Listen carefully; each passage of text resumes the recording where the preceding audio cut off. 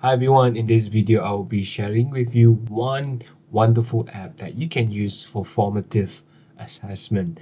Not only that you can create assessment through this tool, it also gives you some opportunity to use AI to generate personalized uh, feedback to your students. Now the app is called Snorkl. You can see here is snorkl.app and um, you know you can go through the features here if you want to so what I need you to do is to sign up first and then log in. Once you log into your account, if you realize that it's student and you are a teacher, you want to create activities, you need to change it to teacher on top here and you'll be able to see these uh, features here where you can create class and then activity. So similar to other uh, application or website you just have to create a class first. You can name it let's say class one. Right just name class create it. And then you can assign activity to this class. But before you assign of course you need to ask your students to register an account and then join them. You can invite them using the code like this where they can just join your class first. Or if you don't want them to join beforehand you can immediately assign an activity. You can create a new one you can from your library or from Snorkl library. If you go to Snorkl library, you will have a lot of uh, you know examples that you can go for from kindergarten up until even high school or grade 12. You can see some samples here. Now, I'm going to go for uh, from from zero, meaning I will create a new one just to let you see how it works. So you can name the activity. Let's say activity one. If, if you are using this for your class activity, if you want to do it for assessment, you can call it in a different name. Now, after that, you will be able to choose the response type. How do you want students to respond? Is it whiteboarding recording where they need to scribble and explain things and record?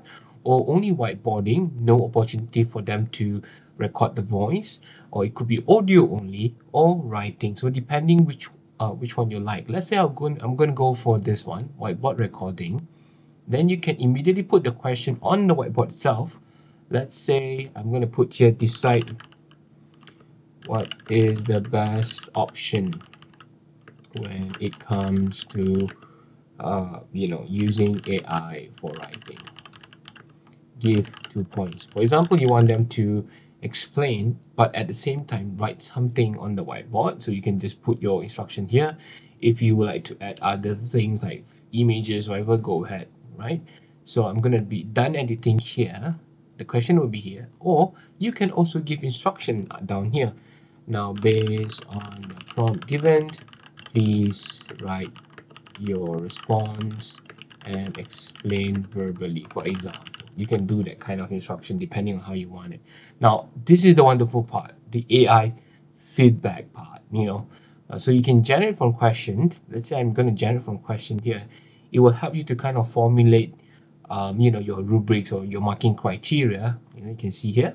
If you like it you can confirm. If you don't like it you can edit it first. Then let's say I, I like this right? Then you will see the you know the marking criteria here. You can even be more specific in the case like you can say like one point for what two points for blah blah blah. So you can have your own marking scheme here. You can set the grade.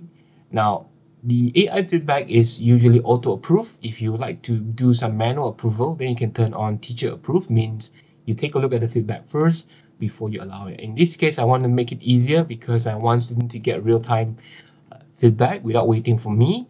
And then I can also see more option. I can change the default language if I want to, or I want to uh, show the correct answer show the score depending on your liking.